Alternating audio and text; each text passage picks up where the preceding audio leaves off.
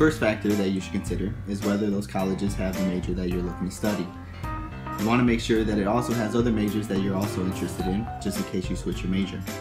Second factor that you should consider is whether or not those colleges are a right fit for you. So visit those colleges, pay attention on the location. You know, do you want a big city, small college town?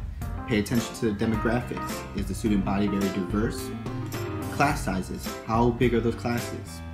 Do you want to go to more smaller class sizes or larger class sizes? Smaller class sizes tend to have a little bit more time with your professors. Campus life. Does the campus have clubs and organizations that you're interested in? Does it have intramurals? Uh, campus housing. Are you looking to live off campus or on campus? And food options. You'll be spending a lot of time there, so you want to make sure it does have a lot of different food options so you don't get tired of what you're eating.